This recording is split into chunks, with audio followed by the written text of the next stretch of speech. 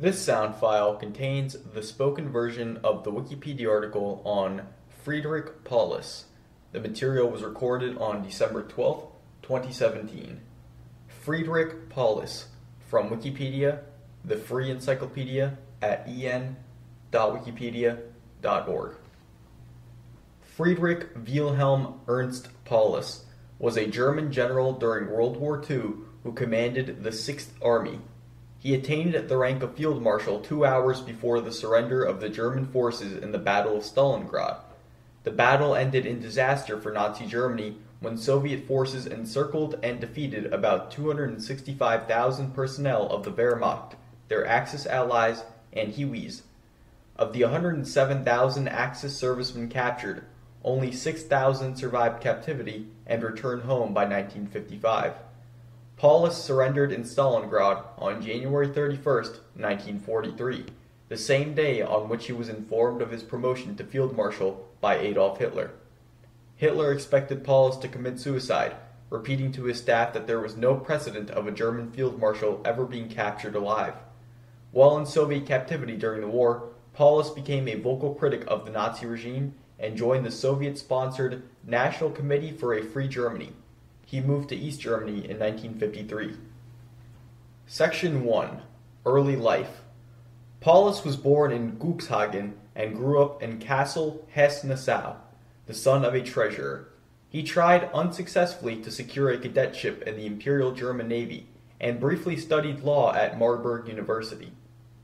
Section 2 Military Career After leaving the university without a degree, he joined the 111th Infantry Regiment as an officer cadet in February 1910. On July 4, 1912, he married the Romanian Elena Rosetti Solescu, the sister of a colleague who served in the same regiment. When World War I began, Paulus's regiment was part of the thrust into France, and he saw action in the Vosges and around Arras in the autumn of 1914. After a leave of absence due to illness, he joined the Alpine Corps as a staff officer serving in Macedonia, France, Romania, and Serbia. By the end of the war, he was a captain. After the armistice, Paulus was a brigade adjutant with the Freikorps. He was chosen as one of only 4,000 officers to serve in the Reichswehr, the defensive army that the Treaty of Versailles had limited to 100,000 men. He was assigned to the 13th Infantry Regiment at Stuttgart as a company commander. He served in various staff positions for over a decade, and then briefly commanded a motorized battalion before being named Chief of Staff for the Panzer headquarters in October 1935. This was a new formation under the direction of Oswald Lutz that directed the training and development of the Panzerwaffen or tank forces of the German army. In February 1938, Paulus was appointed Chief des Generalstabes to Guderian's new XVI Army Corps, which replaced Lutz's command.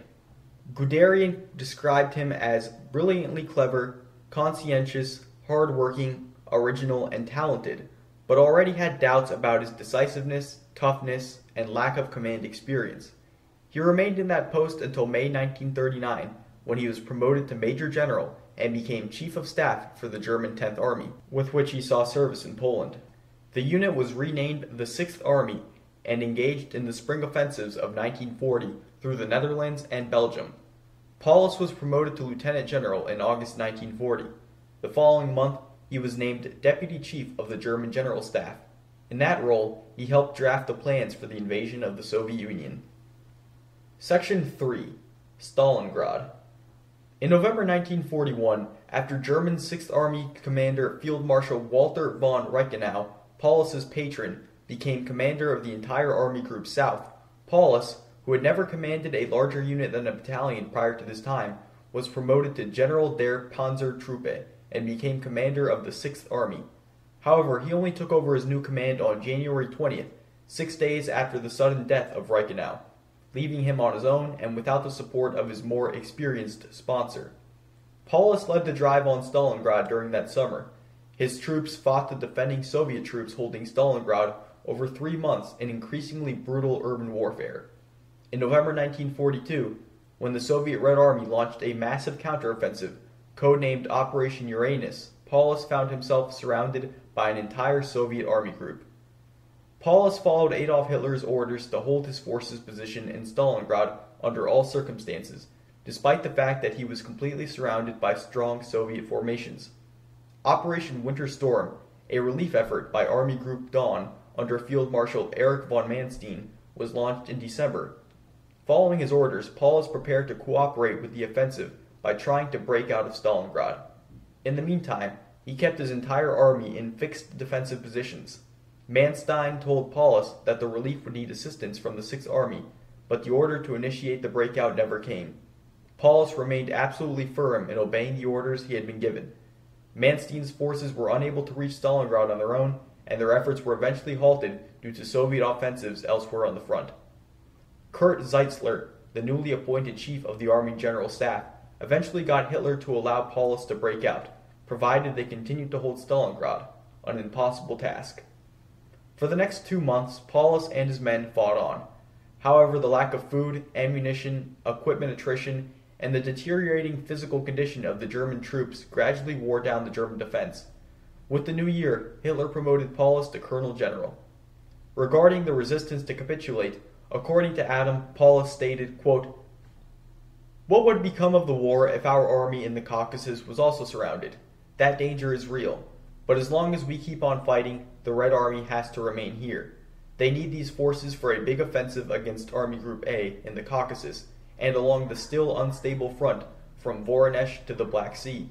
We must hold them here to the last so that the Eastern Front can be stabilized. Only if that happens is there a chance of the war going well for Germany. Unquote. Crisis On January 7, 1943, General Konstantin Rokossovsky, commander of the Red Army on the Don Front, called a ceasefire and offered Paulus's men generous surrender terms. Normal rations, medical treatment for the ill and wounded, permission to retain their badges, decorations, uniforms, and personal effects. As part of his communication, Rokossovsky advised Paulus that he was in an impossible situation. Paulus requested permission from Hitler to surrender. Even though it was obvious the Sixth Army was in an untenable position, the German Army High Command rejected Paulus's request, stating, quote, "Capitulation out of the question. Every day that the army holds out longer, helps the whole front and draws away the Russian divisions from it. Unquote. After a heavy Soviet offensive overran the last emergency airstrip in Stalingrad on January 25th, the Soviets again offered Paulus a chance to surrender. Paulus radioed Hitler once again for permission to surrender. Paulus stressed that his men were without ammunition or food and he was no longer able to command them. He also said that 18,000 men were wounded and were in immediate need of medical attention. Once again, Hitler ordered Paulus to hold Stalingrad to the death. On January 30th, Paulus informed Hitler that his men were only hours from collapse. Hitler responded by showering a raft of field promotions by radio on Paulus's officers to build up their spirits and steel their will to hold their ground. Most significantly, he promoted Paulus to General Field Marshal. In deciding to promote Paulus, Hitler noted that there was no known record of a Prussian or German field marshal ever having surrendered. The implication was clear. Paulus was to commit suicide. Hitler implied that if Paulus allowed himself to be taken alive, he would shame Germany's military history. Capitulation Paulus and his staff were captured on the morning of January 31, 1943. The events of that day were recorded by Colonel Wilhelm Adam, one of Paulus's aides and an adjutant in the XXIII Army Corps, in his personal diary. Quote, January 31, 1943. 7 a.m. It was still dark, but day was dawning almost imperceptibly. Paulus was asleep. It was some time before I could break out of the maze of thoughts and strange dreams that depressed me so greatly. But I don't think I remained in this state for very long. I was going to get up quietly when someone knocked at the door. Paulus awoke and sat up. It was the HQ commander. He handed the colonel general a piece of paper and said, Congratulations! The rank of field marshal has been conferred upon you. The dispatch came early this morning. It was the last one. One can't help it's an invitation to suicide. However, I'm not going to do them such a favor, said Paulus after reading the dispatch. Schmidt continued. At the same time, I have to inform you that the Russians are at the door. With these words, he opened the door and a Soviet general and his interpreter entered the room. The general announced that we were his prisoners. I placed my revolver on the table. Prepare yourself for departure. We shall be back for you at nine. You will go in your personal car. said the Soviet general through his interpreter. Then they left the room. I had the official seal with me. I prepared for my last official duty. I recorded Paulus's new rank in his military document, stamped it with the seal, then threw the seal into the glowing fire. The main entrance to the cellar was closed and guarded by the Soviet soldiers. An officer, the head of the guards, allowed me and the driver to go out and get the car ready. Climbing out the cellar, I stood dumbfounded. Soviet and German soldiers, who just a few hours earlier had been shooting at one another, now stood quietly together in the yard. They were all armed, some with weapons in their hands, some with them over their shoulders. My God, what a contrast between the two sides!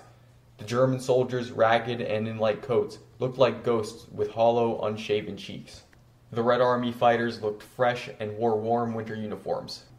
Involuntarily, I remembered the chain of unfortunate events which had prevented me from sleeping for so many nights. The appearance of the Red Army soldiers seemed symbolic. At nine o'clock sharp, the HQ commander of the 64th Army arrived to take the commander of the vanquished German Sixth Army and its staff towards the rear. The march towards the Volga had ended. Unquote. On February 2, 1943, the remainder of the Sixth Army capitulated. Upon finding out about Paulus's surrender, Hitler flew into a rage and vowed never to appoint another field marshal again. He would, in fact, go on to appoint another seven field marshals during the last two years of the war. Speaking about the surrender of Paulus, Hitler told his staff, quote, In peacetime Germany, about 18,000 or 20,000 people a year chose to commit suicide, even without being in such a position. Here is a man who sees 50,000 or 60,000 of his soldiers died defending themselves bravely to the end. How can he surrender himself to the Bolsheviks? Unquote. Paulus, a Roman Catholic, was opposed to suicide, during his captivity, according to General Max Pfeffer, Paulus said of Hitler's expectation, quote, I have no intention of shooting myself for this Bohemian corporal. Unquote. Another general told the NKVD that Paulus had told him about his promotion to field marshal and said, quote, It looks like an invitation to commit suicide, but I will not do this favor for him. Unquote. Paulus also forbade his soldiers from standing on top of their trenches in order to be shot by the enemy. Shortly before surrendering, Paulus sent his wedding ring back to his wife on the last plane departing his position. He had not seen her since 1942 and would not see her again, as she died in 1949 while he was still in captivity. Section 4 After Stalingrad and Post War. At first, Paulus refused to collaborate with the Soviets. However, after the attempted assassination of Hitler on July 20, 1944, he became a vocal critic of the Nazi regime while in Soviet captivity, joining the Soviet sponsored National Committee for a Free Germany, appealing to Germans to surrender.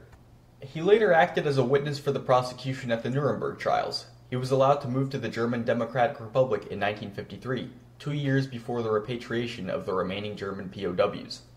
During the Nuremberg trials, Paulus was asked about the Stalingrad prisoners by a journalist.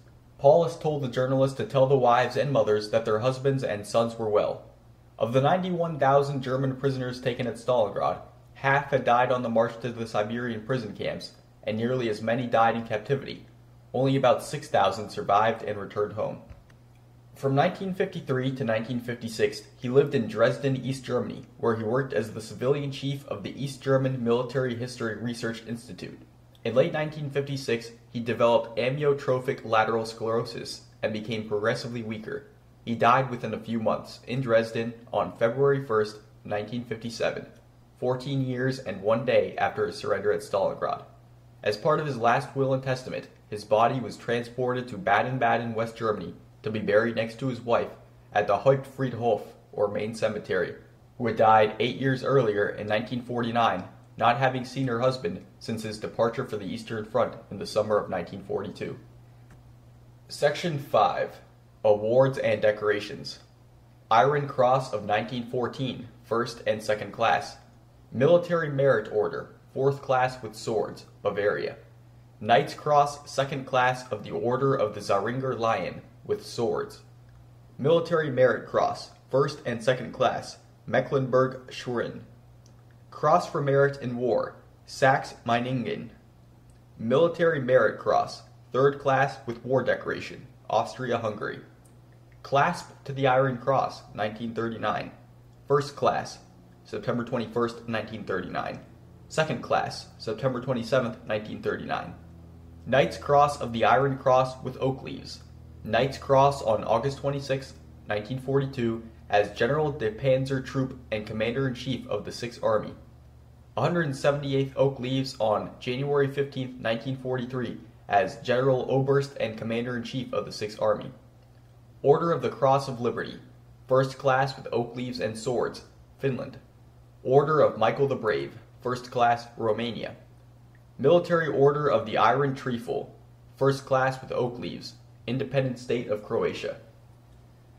This sound file and all text in the article are licensed under the Creative Commons Attribution Share Alike 3.0 unported license, available at http colon forward slash forward slash creativecommons.org forward slash licenses forward slash by dash sa forward slash 3.0.